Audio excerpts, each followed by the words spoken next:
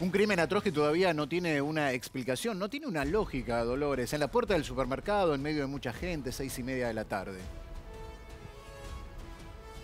Se sospecha que fue un sicario el que llegó al supermercado ayer poco antes de las seis y media de la tarde y atacó directamente a un hombre. ¿Qué es lo que pudieron ver acá en el barrio, Eduardo? Y bueno, yo escuché los disparos nomás.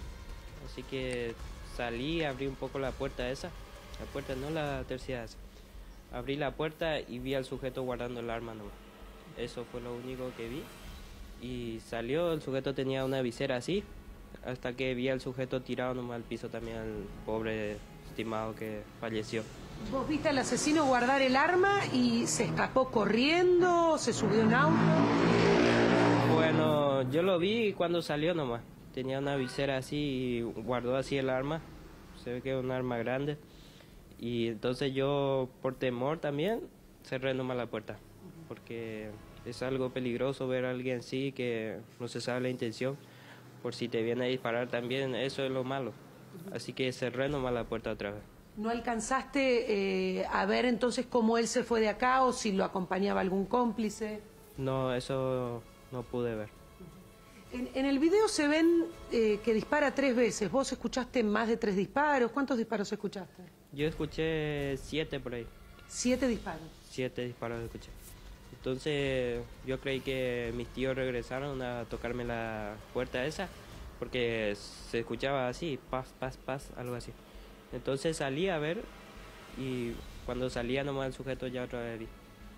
Tenía un arma y estaba guardando el arma y salía de la puerta. Eh, después eh, los vecinos se acercaron a ayudar a las personas que quedaron heridas.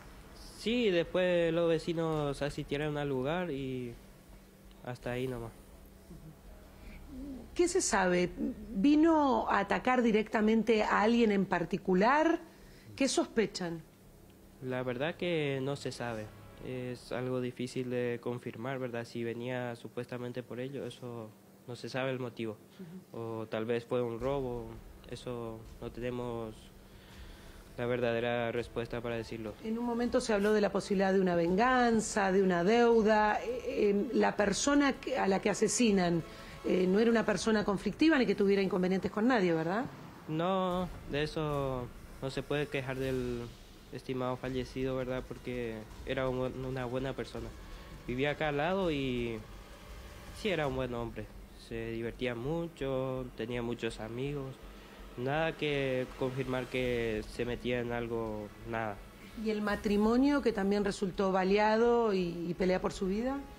Eso, a esos señores, la verdad que son el dueño del supermercado y no se sabe por qué también le alcanzaron las, los disparos y eso. Fue algo inexplicable por el momento. ¿Se sabe si ellos venían teniendo amenazas? No, la verdad que no se sabe. Eso...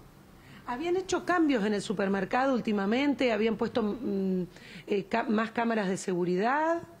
No, eso siempre ellos tenían cámara ahí. Ahí afuera y adentro del local también. Yo iba de vez en cuando ahí en el local y siempre se aparecía ahí en la cámara. Este sicario al parecer es una persona que tiene antecedentes penales. ¿Alguien del barrio lo conoce? ¿Saben si es de acá? No, la verdad que nadie lo conoce. O sea que yo exactamente no lo he visto en ninguna parte. Solo que vino, efectuó los disparos y se fue otra vez. Muchas gracias. Siete disparos se escuchó Eduardo. En el video nosotros vemos que el sicario o el, asesino, por lo menos, no sabemos si fue contratado para, para matar o no, hace tres disparos, eh, pero después, claro, el video no lo muestra cuando está en el segundo pasillo. Puede ser que haya herido a, las otras dos personas. Y, ahí esos disparos no se alcanzan a ver, pero Eduardo escuchó siete disparos. Mm, un crimen que se da entonces ayer, seis y media de la tarde, en un supermercado en el cuartel Quinto de Moreno. Gracias, Dolores.